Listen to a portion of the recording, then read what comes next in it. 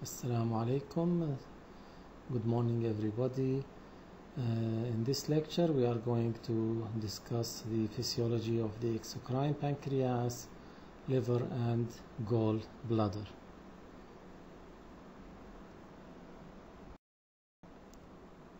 The objectives of the current lecture are to describe the anatomy and histology of the pancreas, to describe the composition and function of the pancreatic juice, to describe the location, anatomy, histology, and functions of the liver and gallbladder. Uh, the pancreas is uh, two in one uh, organ that lies in the curvature of the duodenum. It is a retroperitoneal structure. It has a head, neck, body, and tail. It, as I said, it is two in one uh, organ, which means that it has endocrine part and an exocrine part. As I said, the pancreas is composed or contains endocrine and exocrine uh, tissues. 99% of the pancreatic mass is composed of an exocrine tissue in the form of pancreatic acini that uh, produce and release pancreatic juice. This juice will be collected or will flow through a network of ducts that finally will empty into the duodenum. The endocrine part, which represents 1% of the pancreatic mass, is formed of pancreatic islets or islets of Langerhans. The islets are mainly composed of beta cells that produce the hormone insulin. The beta cells are centrally located in the islets, as you can see in this figure. And we have the next uh, most common uh, cells are the alpha cells that are located peripherally in the pancreatic acid, uh, islets and these alpha cells produce the hormone glucagon. In addition to the alpha and beta cells, we have few other cells called the delta cells that produce somatostatin and the F cells.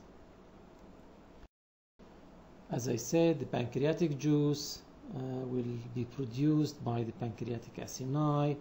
It will flow through the ducts and finally it will reach the pancreatic duct or the main pancreatic duct that will join the common bile duct to form the ampulla of Vater that will open into the second part of the duodenum and this opening is guarded by the sphincter of Oddi.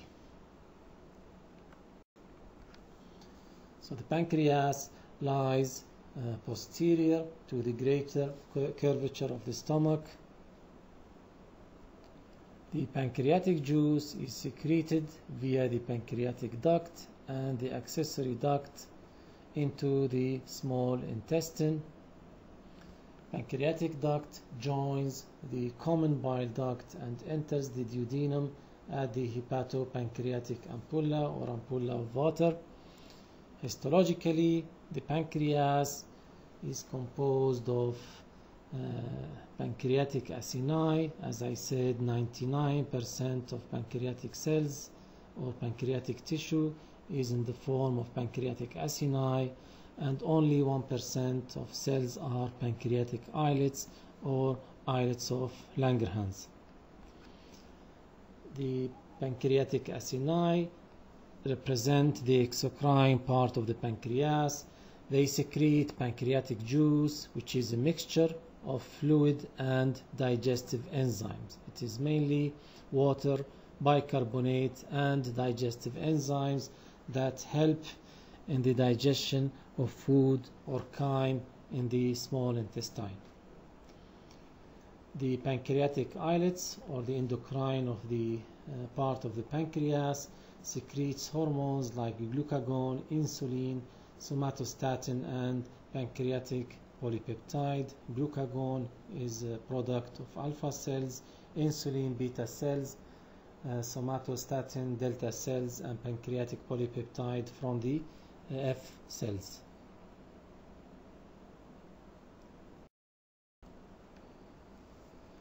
Uh, the pancreatic juice, two different types of cells produce the exocrine pancreatic juice or the exocrine pancreatic secretion. So two cells contribute to the pancreatic juice. We have the acinar cells. These are cells that are or that form the acini and we have the cells or ductular or ductular cells that line the pancreatic ducts and ductules. So the acinar cells grouped into lobules and they contain granules and these granules in turn contain digestive enzymes. We call these granules the zymogen granules. As we can see here in the figure, the apical part of the uh, acinar cells contains the zymogen granules that are formed within the cell and discharged by exocytosis from the apices of the cells into the lumens of the pancreatic acini, then into the small pancreatic ducts. The other cell that contributes uh, to pancreatic secretion or pancreatic juice are the ductular and ductal epithelial cells. These are the cells that line the pancreatic ductules and pancreatic ducts and these cells mainly secrete an alkaline fluid, fluid which is very rich in bicarbonate. The pancreatic juice flows along the main pancreatic duct which empties into the duodenum along with the common bile duct. What is the composition or what are the features of the pancreatic juice?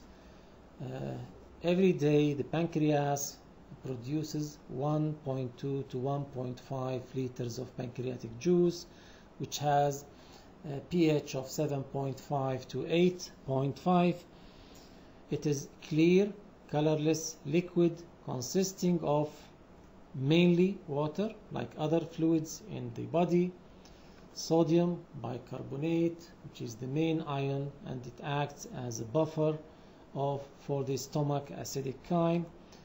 The pancreatic juice also is very rich in enzymes and these enzymes are as follows the pancreatic amylase which is uh, which has a function similar to the salivary amylase.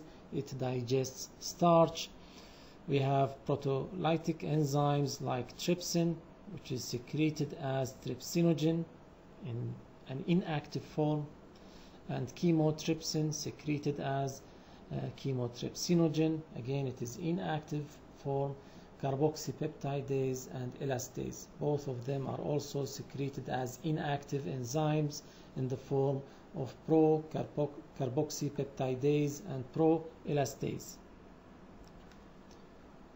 Another enzyme present in the uh, pancreatic juice and is the product of the acinar cells is the pancreatic lipase Moreover, the pancreatic juice contains ribonuclease and deoxyribonuclease.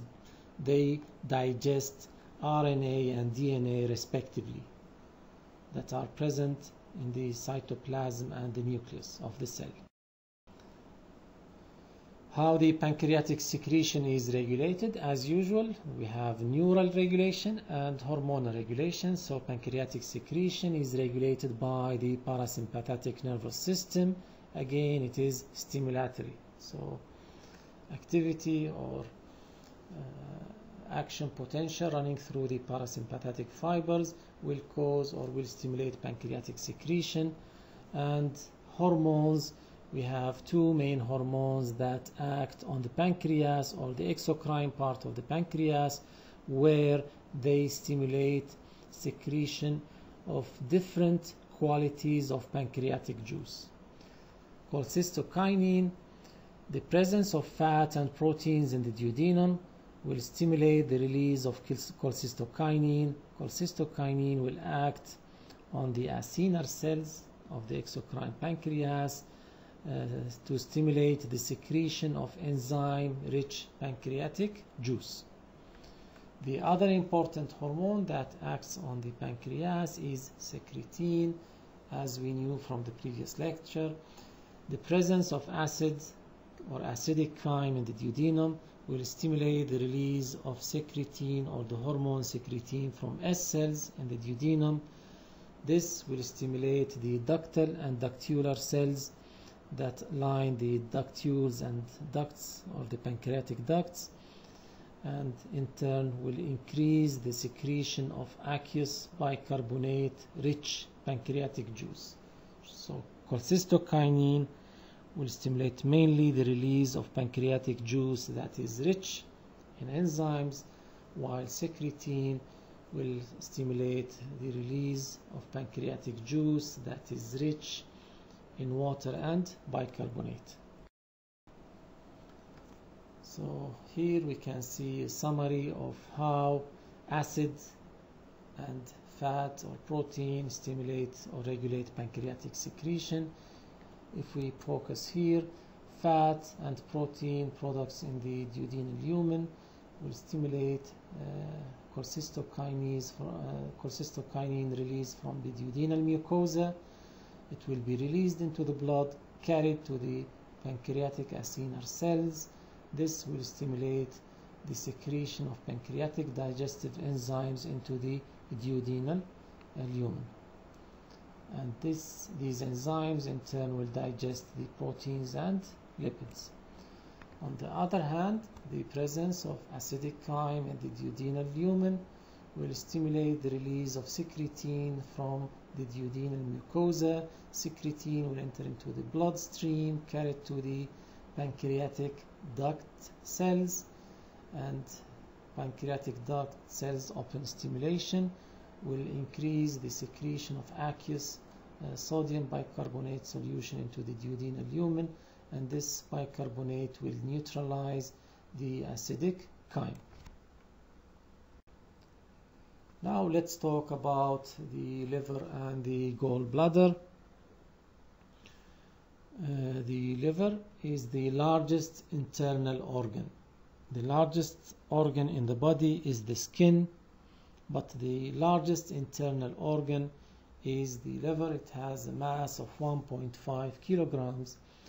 It is covered by peritoneum and it has a capsule and two lobes, right and left lobes, and we have larger right lobe compared to the left lobe.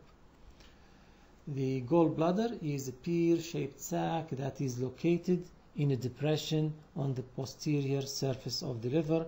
As you can see here in the, the figure, we have liver with two lobes, small left lobe, large right lobe, and the gallbladder is just lying on the posterior surface of the liver.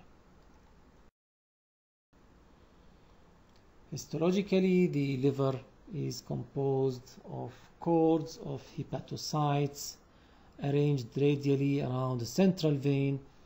These uh, hepatocytes, an uh, arrangement of hepatocytes is called hepatic laminae, as we can see here in the figure.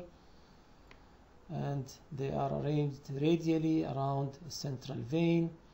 The center of the hepatic lobule is the central vein and at the corners of the hepatic lobule we have the portal triad which is uh, which contains the bile duct because bile will be formed or is formed by hepatocytes. It will run uh, to the periphery of the uh, hepatic lobule to drain into the bile duct also in the portal triad we can see branch of the hepatic artery and the branch of the hepatic portal vein. So bile will flow from the center towards the periphery while blood, both oxygenated blood coming from the heart and deoxygenated blood coming from the portal vein will run from the periphery of the hepatic lobule towards the central vein. The, there are sinusoids separating the hepatic laminae. We call them the hepatic sinusoids. Here we can see a 3D uh, figure or drawing of part of the hepatic lobule and we can see the central vein and uh, as you see the arrows indicate the flow of blood in, in the hepatic lobule from the portal triad or the periphery of the hepatic lobule towards the central vein while bile flows in the opposite direction from the center towards the portal triad. Also, I want to attract your attention that there are macrophages, macrophages or fixed macrophages in the liver, liver uh, called the Kupffer cells. So the liver is made of lobules. Lobules are made of hepatocytes arranged around the central vein. Hepatic sinusoids, they are very leaky capillaries. Uh, they run between the hepatic laminae. The Kupffer cells or stellate reticuloendothelial cells are fixed macrophages, are liver fixed macrophages. Blood supply to the hepatic lobule is from hepatic artery that carries blood which is rich in oxygen and hepatic portal vein that carries blood from the uh, from the alimentary canal mainly the small intestine and it is rich in nutrients. Blood leaves the liver via the hepatic vein as you studied in anatomy branches of hepatic portal vein hepatic artery bile duct form the portal triad that is present at the corners of the hepatic lobules. What are the functions of the liver? The liver has many functions and these functions are very important and very vital for homeostasis. One of them is carbohydrate metabolism. Number two, lipid metabolism and then also protein metabolism in the form of deamination amino acids uh, uh, deamination of amino acids and synthesis of most plasma proteins. These metabolic functions you will study them in further details in biochemistry inshallah.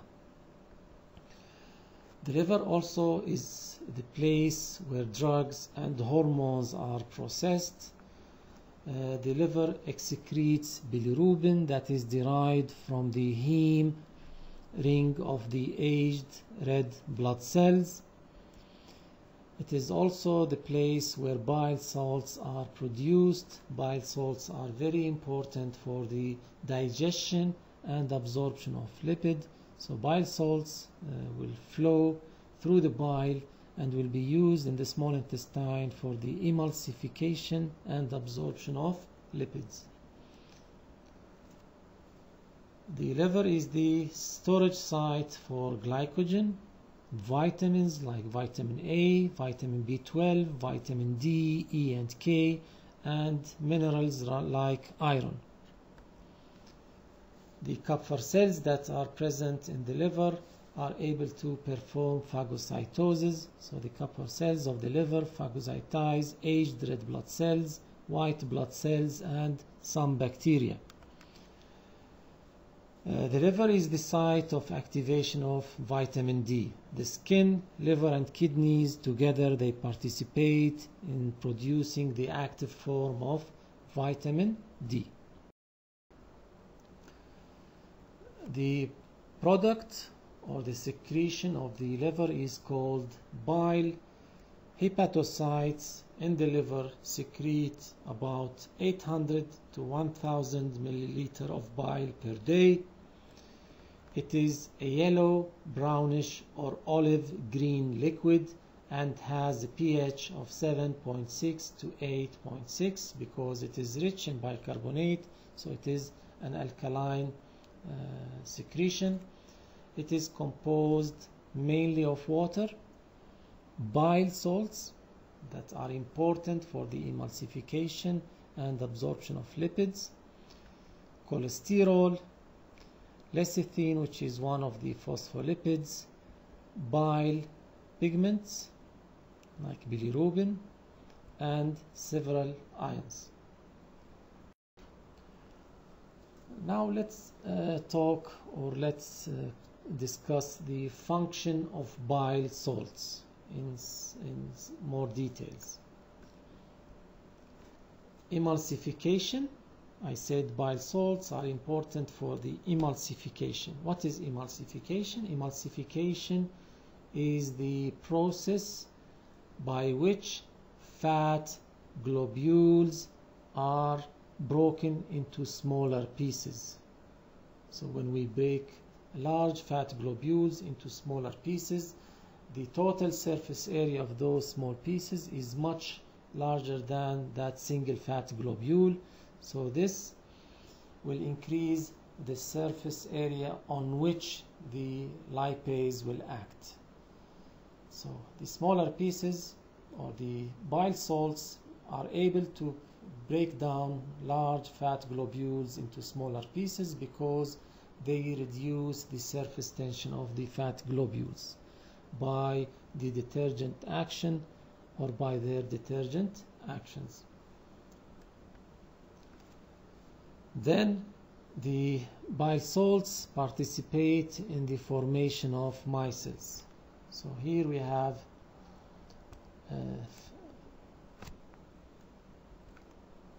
we have a fat uh, droplet that was uh, a large fat globule was broken into smaller fat droplets. And here we have one fat droplets one fat droplet upon which the lipase is acting to release the free fatty acids and the monoglycerides.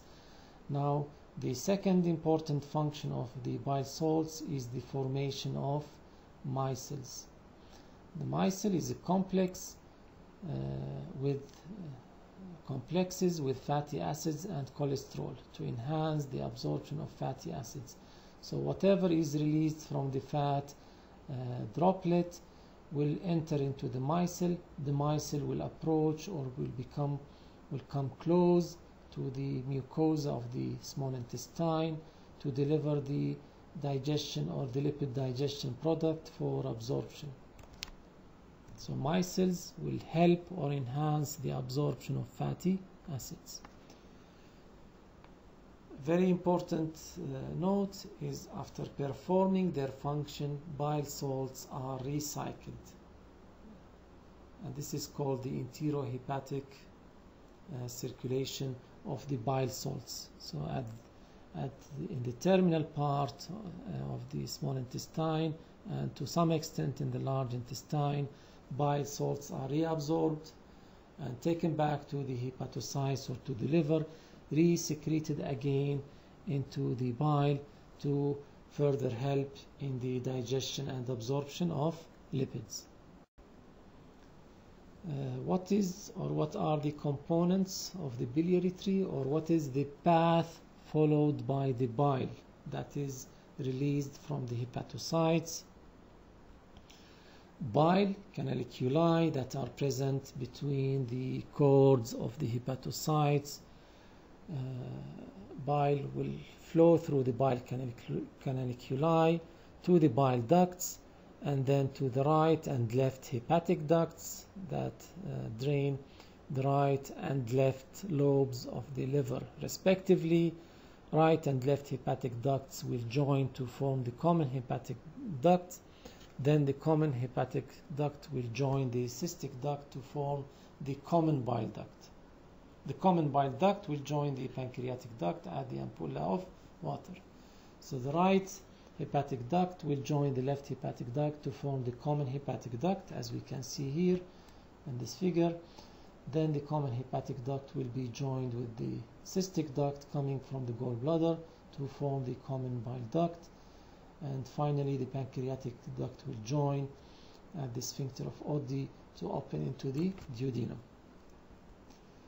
Bile between meals, uh, bile is stored and concentrated in the gallbladder. Bile doesn't flow to the duodenum continuously, it flows to the duodenum just during meal and shortly after meal, but between meals the bile is uh, stored or diverted through the cystic duct to the gallbladder where it is stored and concentrated. Now what are the functions of the of the gallbladder? The functions of the, the gallbladder are the storage, concentration and discharge of bile into the small intestine.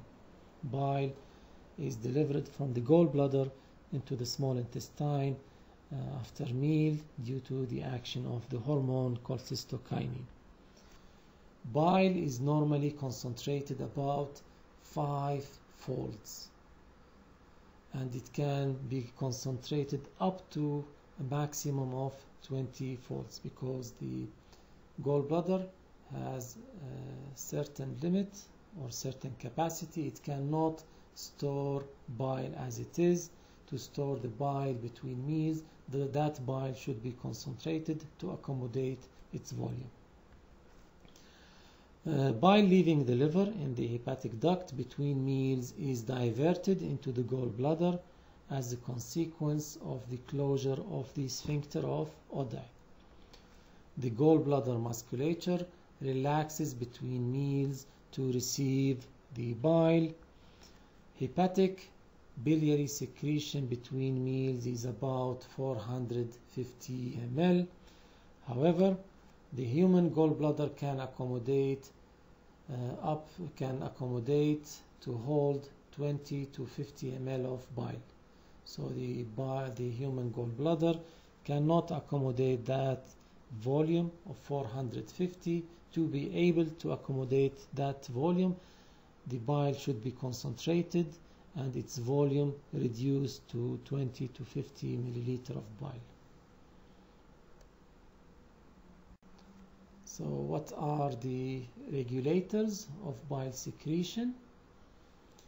When the chyme enters the duodenum and it contains fat, this fat and the chyme will stimulate the CCK cells that are present in the duodenal mucosa. So cells from the intestinal mucosa secrete the hormone cholecystokinin into the bloodstream. This hormone will circulate via the blood and will reach the gallbladder. Cholecystokinin will stimulate the muscular layer of the gallbladder wall to contract. Bile passes down the cystic duct and common bile duct to the duodenum and the hepatopancreatic sphincter or sphincter of Oddi relaxes and bile will enter into the duodenum. Uh, with this slide about the regulation of bile secretion into the duodenum by the hormone called cholecystokinin, we finish uh, this lecture about the uh, pancreas or the exocrine pancreas, the liver and the gallbladder. Very much. If you have any questions, please uh, send them to me via email. Goodbye.